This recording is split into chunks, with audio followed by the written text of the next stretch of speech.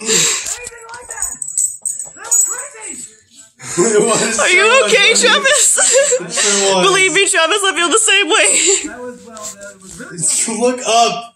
What is wrong with his face? Stop. No, stop. No!